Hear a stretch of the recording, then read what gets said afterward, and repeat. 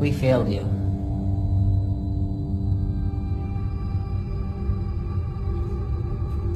We truly did.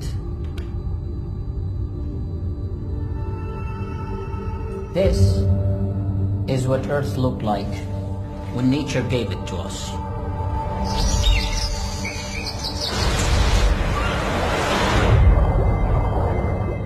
And this is what we have turned it into.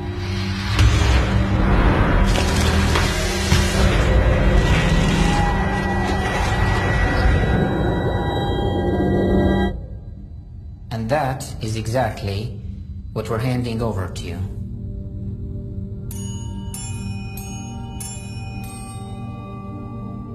I know. I know it's unfair. By the time you are 18, the world's global temperature will have risen by 2 degrees Celsius.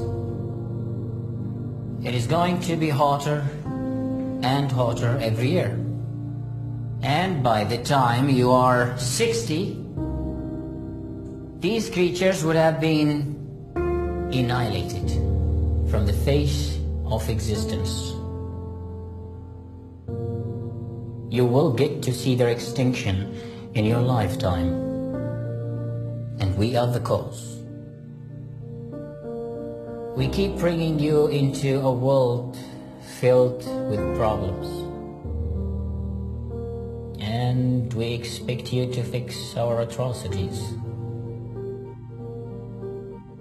We studied. We warned. We even invented new solutions to these problems, but they just wouldn't listen. Our generation didn't do a good job at protecting your future.